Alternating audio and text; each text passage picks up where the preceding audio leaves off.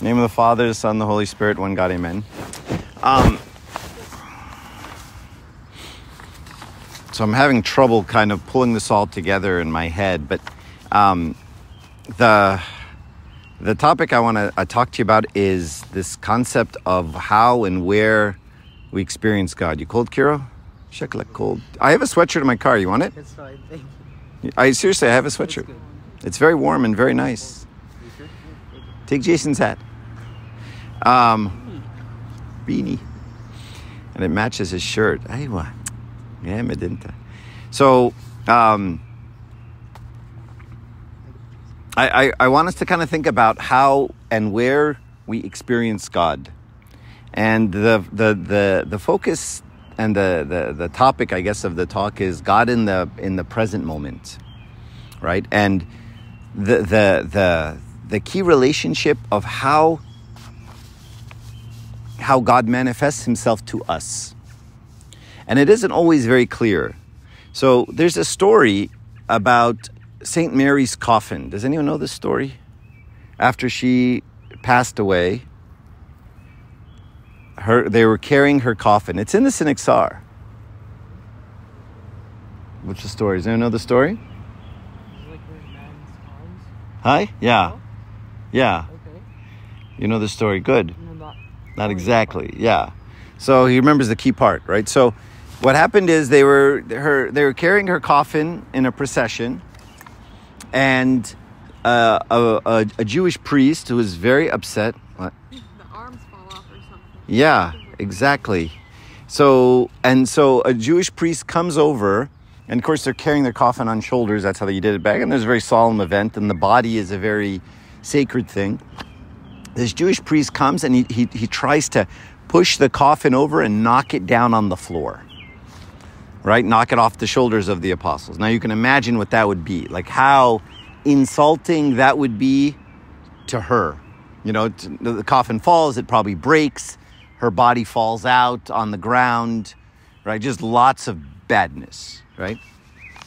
And um and then you all some of you know the story, right? So what happens is as he puts his hands on the coffin to knock it over, right? An angel comes and cuts his hands off. And then they're attached to the coffin. Right? And of course, this isn't pleasant, so he starts screaming. And um, he ends up, you know, uh, the apostles end up healing his, his arms. And then you ask yourself, well, like, why would that happen? And when I was told this story when I was little, okay, how do you think I was told it? I was told by somebody, you know, strong, who said, What did he say? You see? See what happens? Try to knock over the coffin of St. Mary, get your arms cut off. Shaif? Shaif Rabbina? That's what happens to you if you go. Never tried it again. And I never, and I never try to knock anyone's coffin over after that. He's like, this is what happens if you go to a dance or hold a girl's hand. You get your hand cut off, right? So, um, you know, we went through a lot at my age. So anyway, so um, it was a story of vengeance. It was a story of God's wrath. It was a story of this is what happens when you mess with us, right? Um, and I always wondered as I got older, is that kind of mean? That's a little harsh. You cut a guy's arms off. Eh, huh? They healed them after. Yeah, but it's still not nice. You know? It's not the nicest way. And what kind of message is that? And so the, you have to look, let's look back at the Jewish priest that did this. Why would this Jewish priest do this? There were other Jewish priests there who were watching this procession of the mother of the guy who caused them so much trouble. And they didn't do anything. Why not? Why did he do something?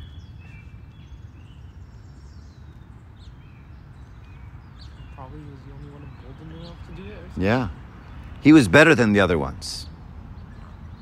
He stuck to his faith more than the other ones. The other ones saw in their minds a demonic body going by who brought Satan into the world. And they thought, ugh, But he saw it, he said, I will not let this stand. This is my faith, and I am I am more courageous than every other Jewish priest watching this, and if they don't have the guts to do it, I will. Right? So he's better than the other Jewish priests. He was more zealous.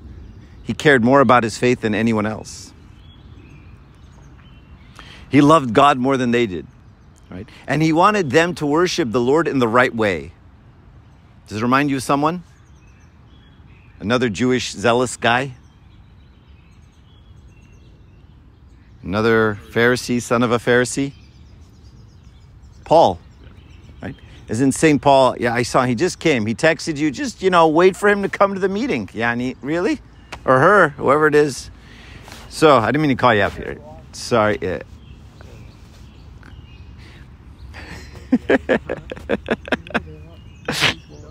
I mean, they'll be able to find us. We're right here. See, there it is. And and if they can't spot us, they need help. You know what I'm saying? Your children. Now, I know my children know where we are, but the, it's the you know the people Peter is interested in the most. That's, I love embarrassing people. It's not a good trait. Um. So, who does that remind you of? St. Paul. Right? So we did this, right? So, and St. Paul was also chosen for this exact same characteristic, right? He was more aggressive and more loving than all the others. And so God picked him and said, Because you're so loving, I'm going to turn you into something better than what you were before. Hey, guys. Traffic. All right, so welcome. All right, let me wait for the.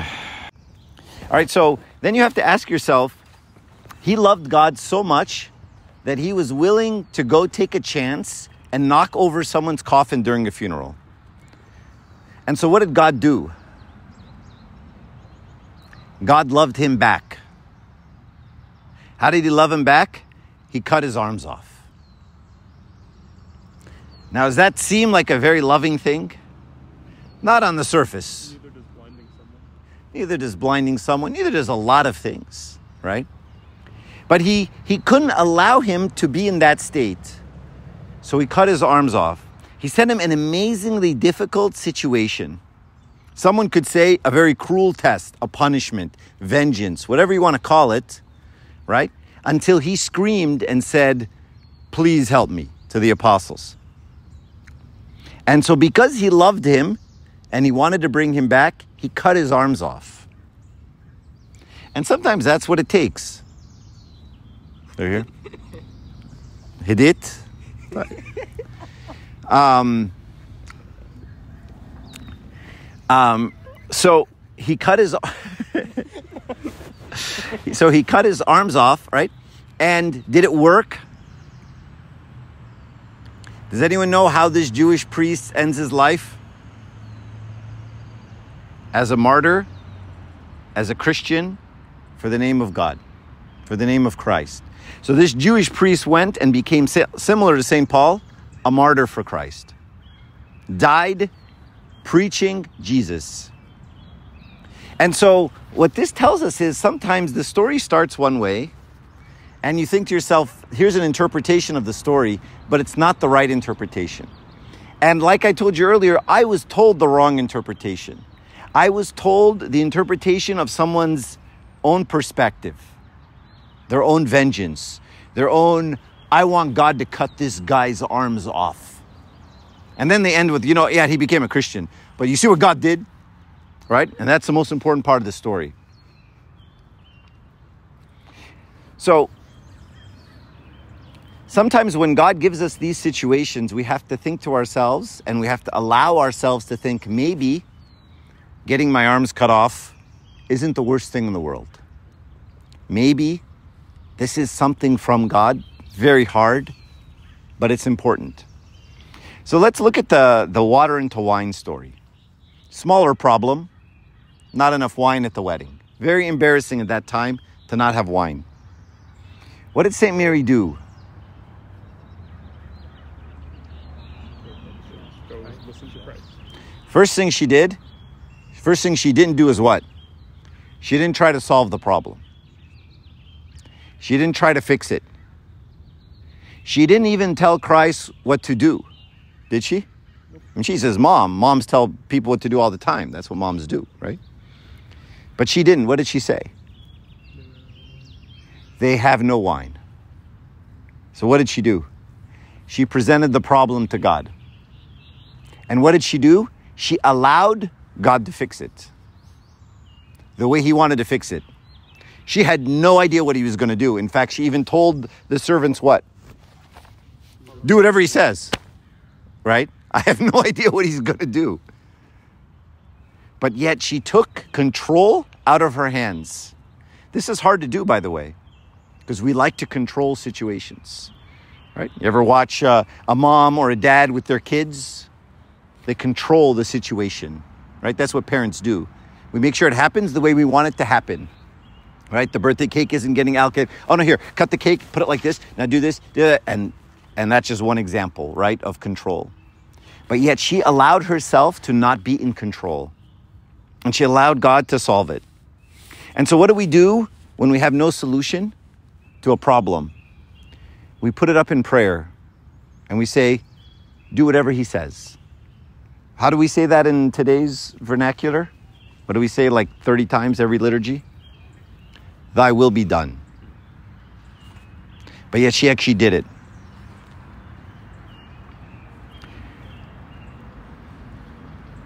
And when you look at the story of the five loaves and the two fish, a similar story, they have no food.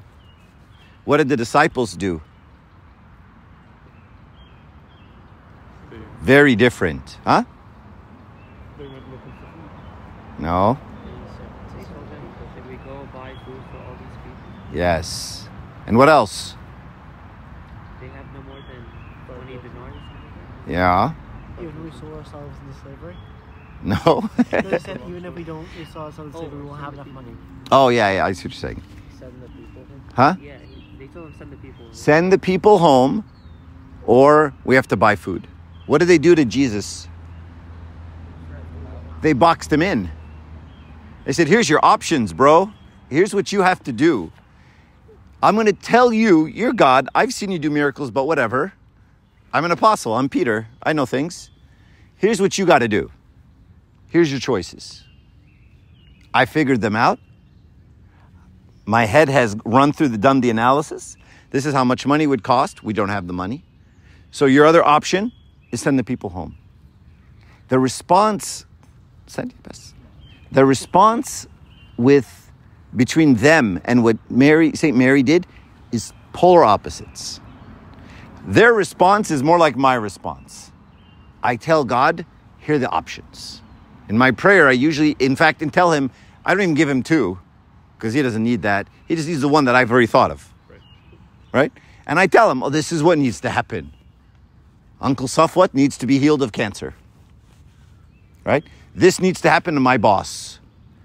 My mom has to realize that I'm an adult. My whatever has to figure out blah, blah, blah. And I just give him the, the, the, the thing. I tell him, this is what has to happen. Right? And so, what St. Mary allowed to happen was she opened herself up to let God in that moment do whatever it is he needs to do. And she didn't base it on history. She didn't say, "Remember when you when you were 4 or 10 or 11 and you did that miracle or this miracle?" Right? She didn't tell him based on history. She told him in the moment, do whatever it is you need to do right now. Yes. So, what, can't you look at it in terms of they didn't want to like bother him, and they kind of wanted to respect his his presence, so they they're trying to like make everything go smooth. So They're trying to think for him. It's tough for him to think. So they said, listen, انت غبي. ف- What we're going to do is we're going to think for you because we're humans. We, you know, we own the world. no, but it, I think of it as, as like let's say let's say for example like there's a conference and there's like a big guest speaker, right? and a problem happens, so you try to fix it, so the guest speaker can you know can go on with like whatever the I, that's, I, I see your analogy. Here's more of the analogy. The guest speaker, someone asks the guest speaker a, a question. So they walk up, they say, okay, here you have one of two answers to answer this question. And I know you just flew in from, you know, England or wherever, right? But here's the two answers you get, and that one isn't going to work, so really you only have one answer. Here's what you have to say. And be like, my gosh, it's been so long. I know. How are you? Good. Welcome. You done with finals? I am. I finished school two weeks ago. Oh my gosh. Killing it. All right. So so let's think about this concept of, of being in the present moment, right? So again, they gave him options. And what did God choose? What did Christ choose? The third option. Right? And we see this a lot right? In the story of the born blind, the disciples also gave him options. What was his options? Oh. They asked him, they say, So who sinned? This man or his parents?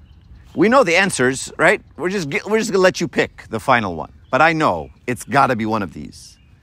And what did he say? Option three. Right? And we see this a lot in the stories of the Bible, right? You know, like the crossing the Red Sea right? What did, what did the people of, of Israel say when they saw the army of Egypt coming? Either they're going to kill us or they're going to take us back to Egypt and make us slaves.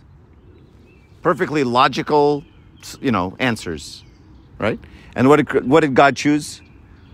Option number three, right? Which is no, we're going to go through the sea. Right? So when we allow God in the moment to solve the problem, he often solves it in a way that we would not expect, that we don't think is possible. And often when we look back at that solution, like, wow. You know, and, and, and I have times in my life that I've looked back and said, you know, if I was God, I couldn't have come up. Like if you said, okay, Mark, you're God, do anything, I wouldn't have thought of that one. And it's my own life. And it was perfect. And it was perfectly timed and perfectly crafted. So, if you look at the miracles of Jesus, oftentimes they end with, with a sentence, and they believed in him.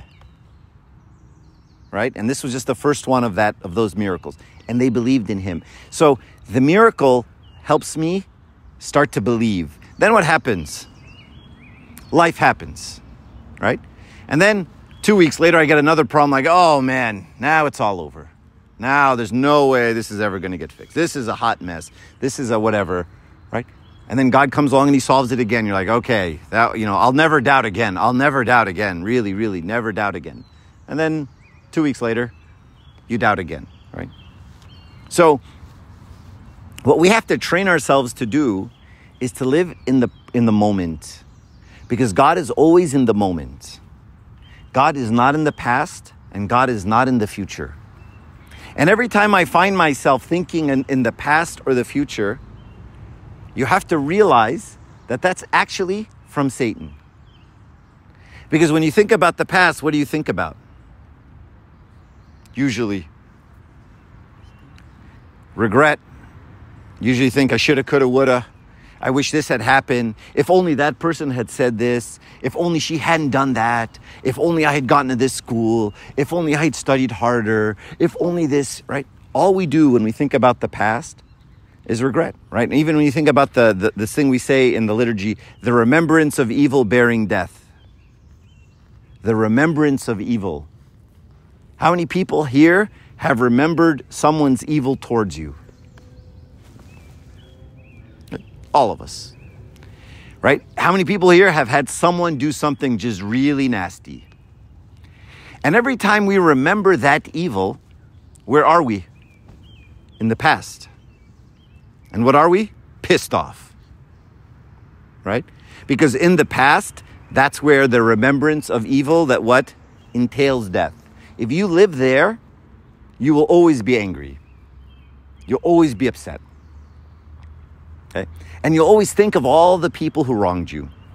And if there are some people You know, I remember when I when I went to USC, I joined USC 10 years ago. Uh, this one professor, she was telling me about this other professor and how horrible of a human being he was and how that he was basically the devil.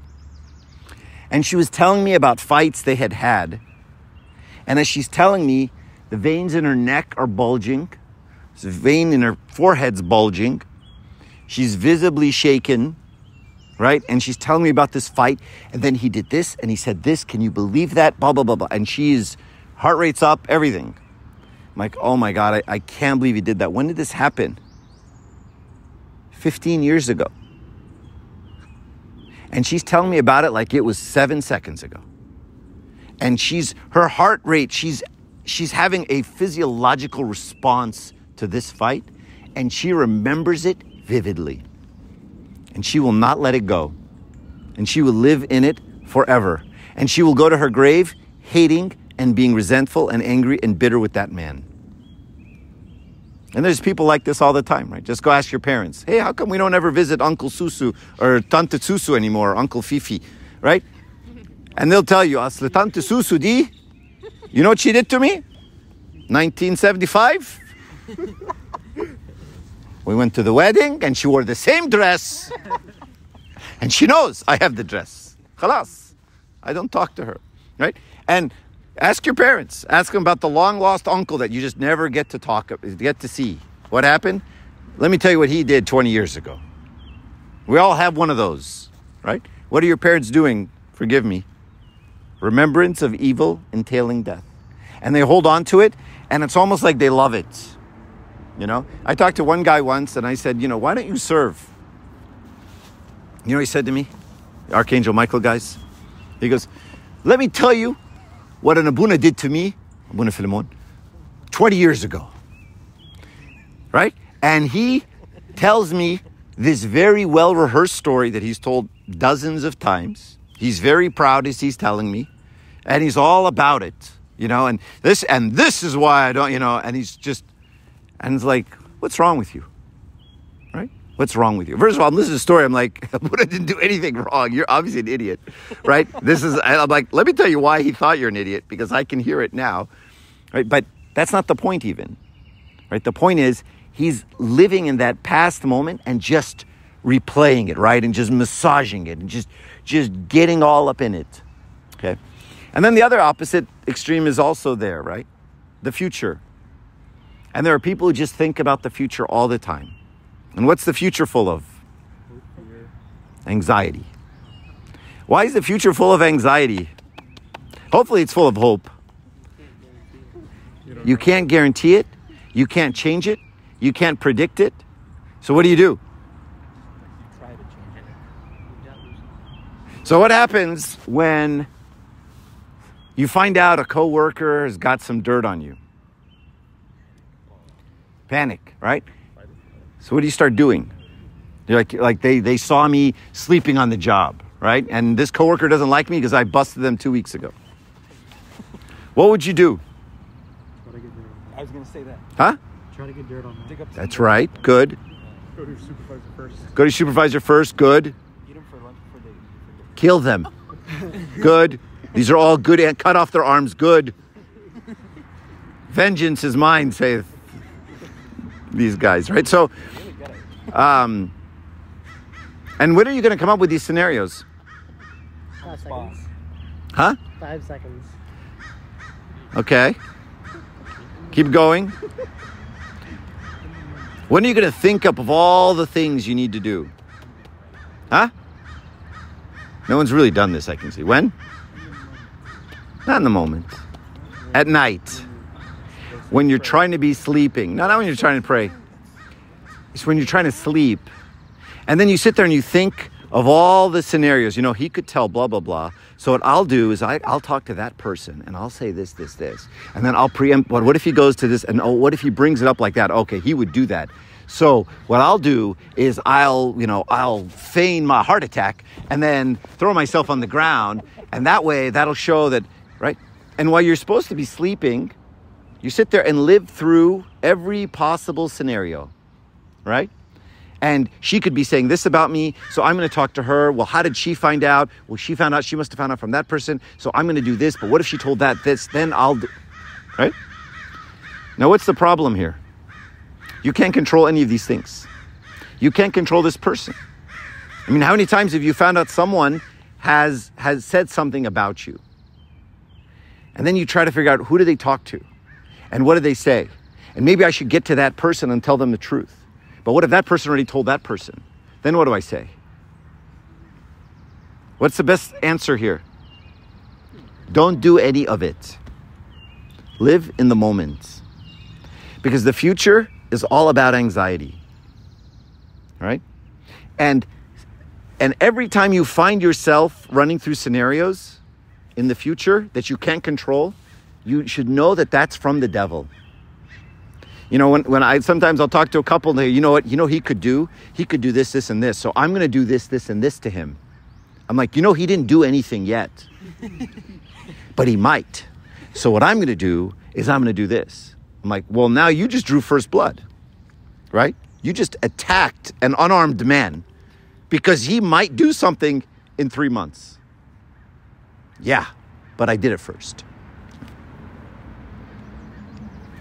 So the reason the reason God is in the present moment, and we see these moments like this, right? You look at someone like the right hand thief. Okay? So imagine if you're God and some piece of garbage thief, right, who's stolen and killed and done all kinds of countless things says, you know what, remember me when you come into your kingdom. What would you do?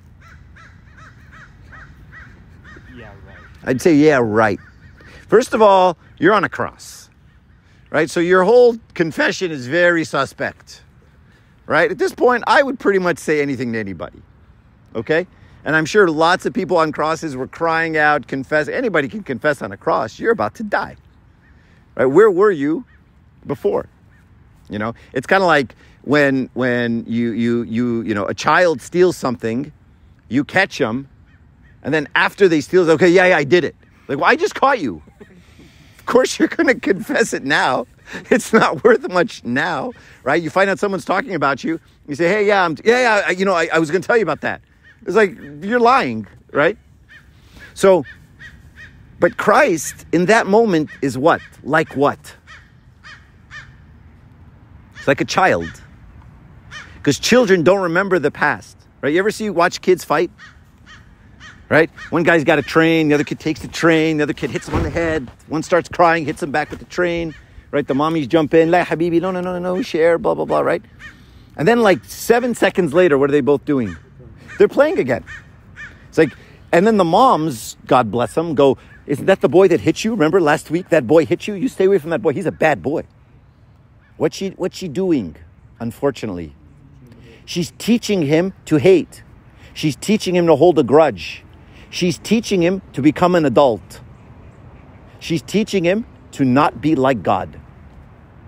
Because God doesn't remember. So this thief has been doing some all this crap for 30 years. He gets caught, he's about to die, and he says, Hey, you know, you look like a nice guy. Remember me when you come in your kingdom. And what does Christ say? It's all forgotten. Like a child. He doesn't remember any of it. And I encourage you that when you have someone come back to you after all the stuff they've done and they say, I'm sorry, you say, I already forgave you. Like it never happened. Forgive, I, you know, sorry for what? I don't even remember. Be like a child. Because that's how God is. All right, so let me read you this quote from this book. In the present moment, because of his infinitely merciful love, we always have the possibility of starting again, not impeded by the past or tormented by the future. And that's what we see with the right hand thief, not impeded by the past or tormented by the future. He continues, this is this is where God is present. Every moment, whatever it brings is filled with God's presence, rich with the possibility of communion, communion with God. We do not commune with God in the past or the future but by welcoming each instant as the place where He gives Himself to us. We should learn to live in each moment as sufficient to itself, for God is there. And if God is there, we lack nothing. we feel we are missing this or that simply because we're living in the past or in the future instead of dwelling in every second. So, this is what we experience, right, in the Gospels, right? Even the story of the prodigal son. The dad comes back, or sorry, the son comes back, and what does the dad do? It's all forgotten, right? And the dad throws his arms around him and says, Never mind. It's as if none of it happened. My son was dead and now he's alive. He doesn't hold a grudge, he doesn't punish him, right? And even if you notice, the prodigal son is doing the logical thing, he's doing the apostle thing, right? You can imagine the walk back, right? He's, he's running through the scenario. What's my dad gonna say? What would your dad say? First, you take off his belt. He's like, first, I'm gonna hit you with a belt. a few times, right? But so he already played it out. What did what what what conclusion did he come to about his dad? His dad was to say what? Huh? You're not my son. He ran it through. You guys just to turn around and just talk? Is that what's to happen? Really? Oh, okay. All right, that's fine. Um, so he had already run it through. Miss you, Dahlia. Um, and he concluded that his dad would say, You are not my son. And so, just like the apostles were doing, he preempted them and said, Look, I know what you're going to say. You're going to say, You're not my son. So I already have the, the, the solution. What was the solution? Hired me as your, take me as one of your hired servants. I, I know what you're going to say. Here's, what, here's what's going to happen. And again, what does God do?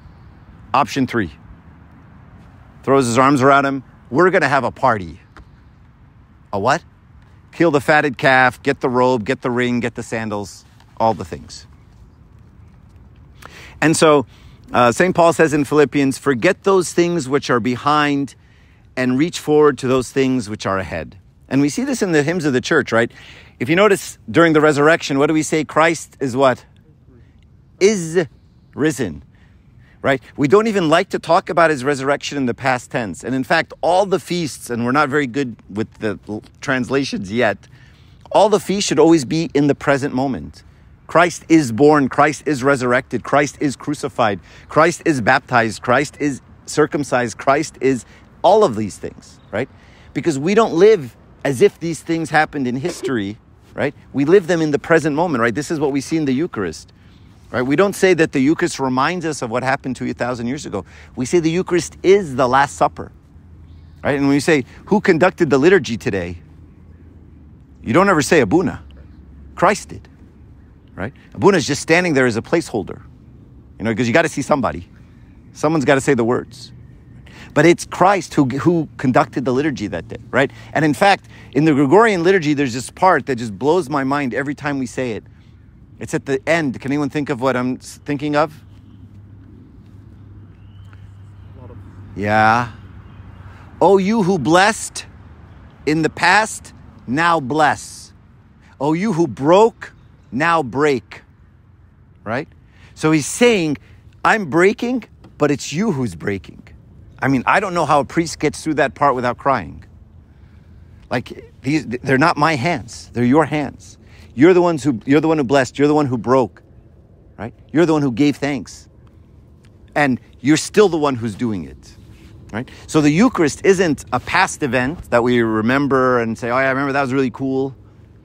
It's that moment we live in the Last Supper every single time. That's why in the icon of the Last Supper, right? If you ever look at the icon of the, an icon of the Last Supper, right? The table never ends in the icon. You're always sitting at the table, right? The table ends at you.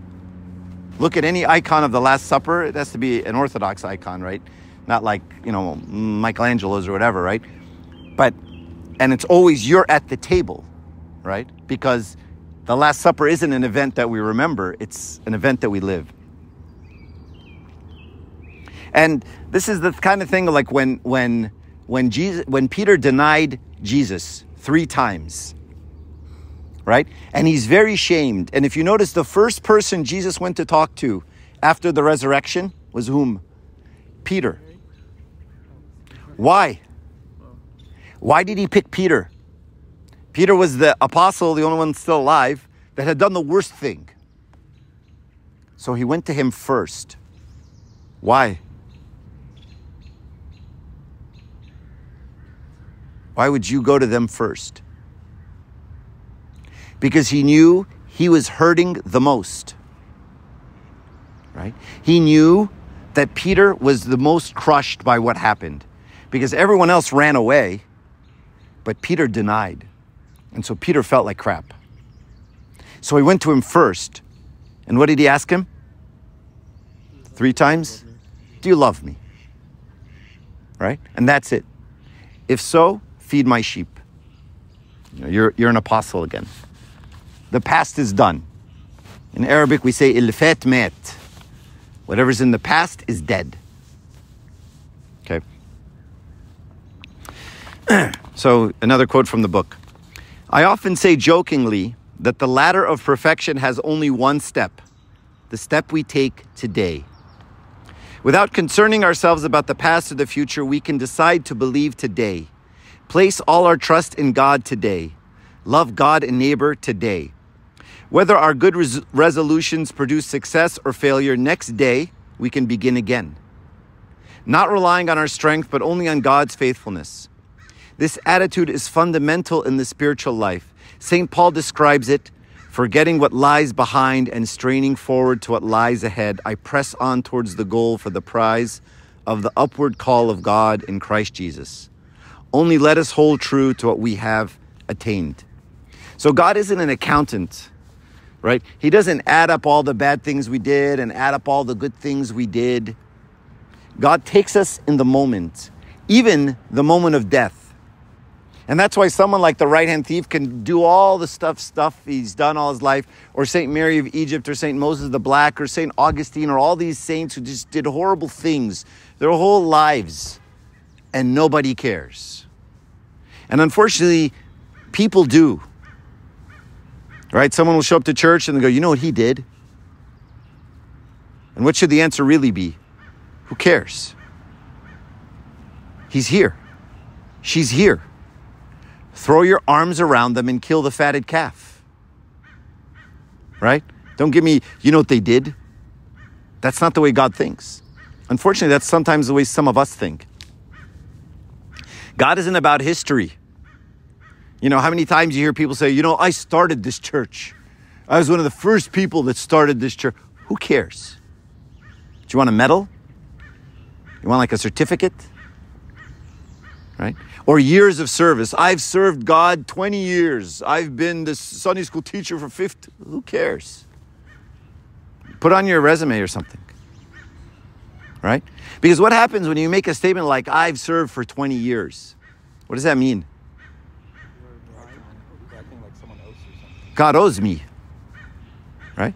And that's what gets us into trouble, right? I've served with this Abuna for 30 years and he turns his back on me. Why are you saying 30 years?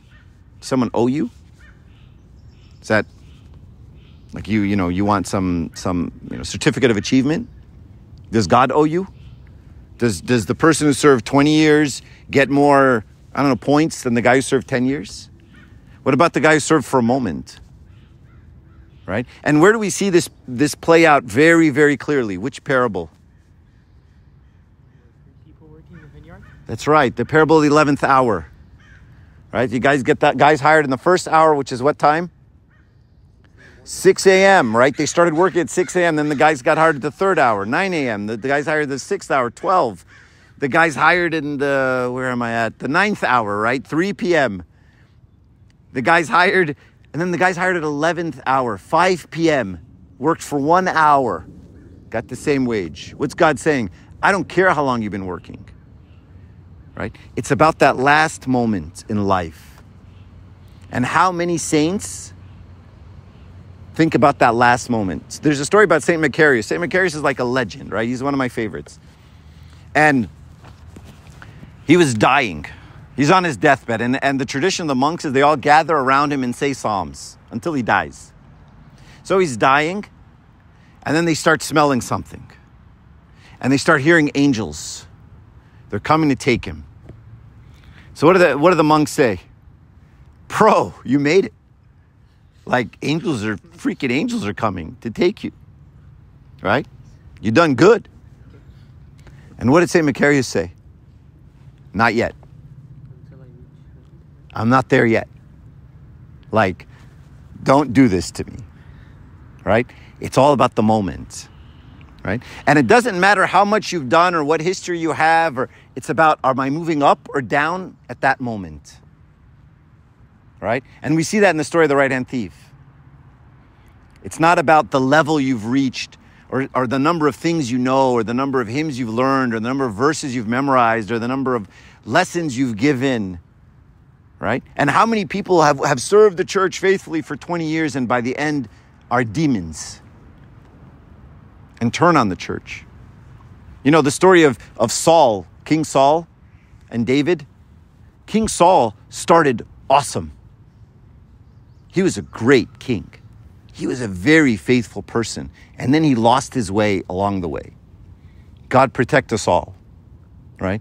It's easy to start strong Right? It's about laying in that last moment. Another quote. He says, Sometimes we feel we've wasted much time and missed all too many opportunities to love and grow. How many people feel that way? Like there's an opportunity to serve or an opportunity to do this. If the feeling leads to real repentance and to starting again courageously and trustingly, starting again, then it is something positive. But if the sense of time wasted gets us down and makes us feel we've ruined our lives, we must reject it. Anytime you think, I messed up, I've ruined everything, reject that thought. That thought is not from God. That thought is from the devil. Every time you, you're told something negative, like you messed it all up, just go kill yourself. That thought is from the devil. But if the sense of time wasted gets us down and makes us feel like we've ruined our lives, we must reject it.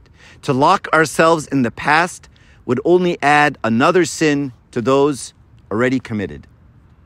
Right? And again, the story of the parable of the 11th hour comes to mind, right? It's not about the past. And that's what the workers wanted, right? Those first hour guys, they're like, well, I'm sure he's going to give me more money. I worked longer.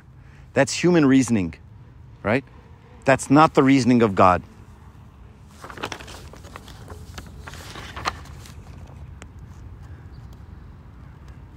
All right. And so this is a basic tenet of monastic spirituality. St. Anthony of Egypt, as you all know, when he was 100 years old, he used to say, I haven't yet begun to be converted. He used to say, Every day I say to myself, Today I begin my spiritual life. So, the reason I'm telling you like about this isn't it's to keep us focused on the, the, the possibility and not let us think about what could have been, right? Or what I messed up. Because if you start going to what I've messed up and all the mistakes I've made and all the things I've ruined, you're going to go down a dark hole and you're going to live a, a, a horrible life. And if you start remembering all the evils everyone's done for you, you're going to be a victim and you're going to have a victim mindset and all the people who did bad things to me. And if only they hadn't done this, you know, she screwed me over, he screwed me over, and that's why I never X. And we can live in that way. That's not where God is. He would repeat the words of St. Paul, this is St. Anthony, unceasingly. The Lord liveth before whom I stand today. St. Anthony pointed out that when Elijah said today, he took no account of the past. And so, as though he were still at the very beginning, every day he strove to live as he wished to appear before God, pure of heart and ready to obey God's will like no other. And no other, sorry. And so, this is like any relationship you have with a friend, right? How many people have had friends for five years and then not have a friendship? How many couples are divorced and say, We used to have a great relationship? Okay, but well, you're divorced now. Yeah, but it used to be great. Does that count? No. Right? And so our relationship with God is like that. It's about now. Focus on the now. All right, I'll, fit, I'll end with this quote God is everywhere, and there is no place God is not.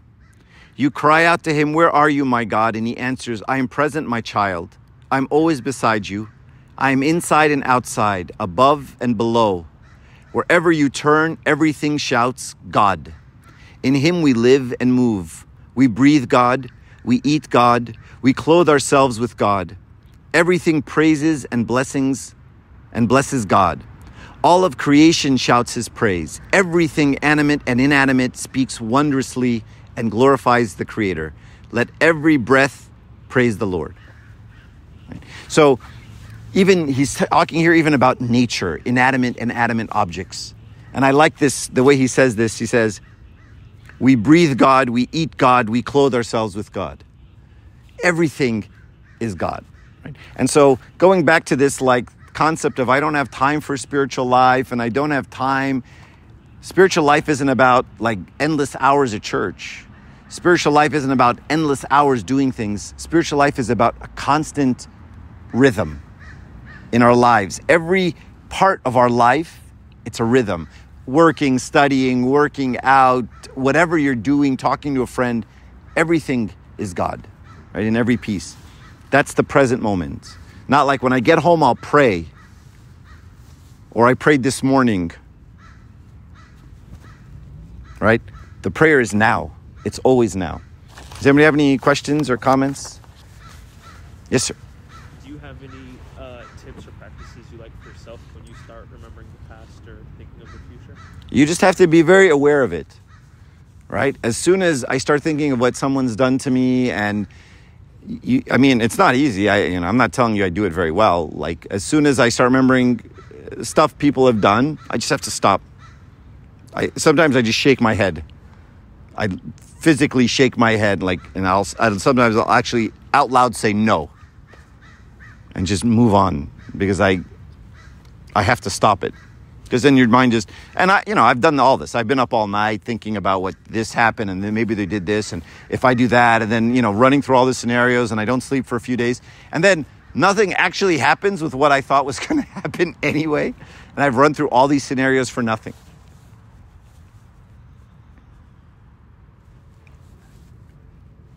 I'm a professor. I can see everything. Any other questions? Yeah You keep referencing a book. What's its name? what's that What's the name of the book? Uh, it's called Interior Freedom by Father Jacques Philippe. Great book. Catholic? Yep. Some Catholics are going to go to heaven. Just sounded French. Uh, yeah, he is French. Jacques. I probably spelled that wrong. J A C Q U E S. It's not Jack. That's in the south. Jasquez, Eleanor Alik. Any other questions, comments? Glory be to God forever. Amen. I have our bond.